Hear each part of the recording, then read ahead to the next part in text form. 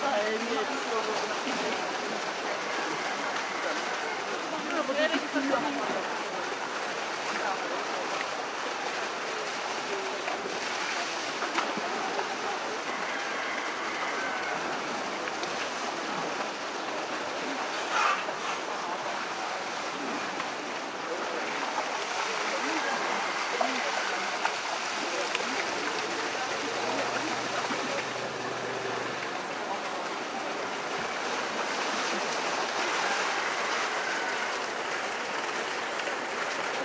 Fotos aus Firma und sehen hier